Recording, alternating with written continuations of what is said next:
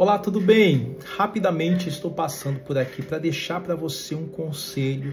E tenho falado sempre que esse conselho não é um conselho da minha parte, né, do pastor Edmilson, mas um conselho que vem da parte de Deus para te orientar, um conselho bíblico. Então, num vídeo rápido, eu quero falar rapidinho para vocês de Josué capítulo 1. Josué capítulo 1, versículo 6. Deus trouxe a seguinte orientação para Josué.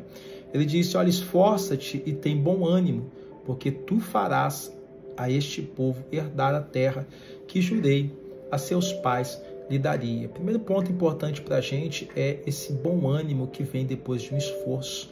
Normalmente, quando nós nos esforçamos, a gente vai lutando, a gente vai batalhando para vencer, para alcançar alguma coisa na vida, só que nós vamos nos deparar com as dificuldades. E dependendo, essa dificuldade ela pode trazer para a gente um cansaço, ela pode trazer um desânimo.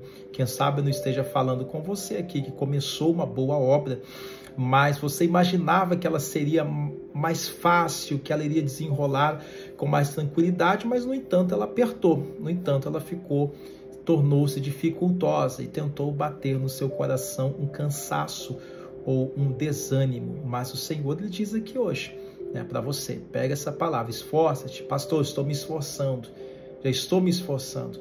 Então tende bom ânimo, tá bom? Não desanima não, fica firme, porque o Senhor ele vai te dar a vitória. E o que, que é interessante? Quando ele diz esforça-te, tende bom ânimo, ele diz porque tu farás a este povo herdar a terra que jurei aos seus pais lhe daria. Ou seja, existe uma promessa da parte de Deus, mas nós devemos fazer com que essas promessas se tornem aqui realidade. Às vezes vai ser difícil, às vezes vai ser apertado, às vezes você vai ver que parece até que esse esforço não está sendo recompensado, mas não desanime, Deus ele vai te dar a vitória, tá bom? Então esse é o rápido conselho que eu trago para você no dia de hoje. Esforce-te, tenha de bom ânimo, Deus vai te abençoar. Aquele abraço, fique na paz, tchau, tchau.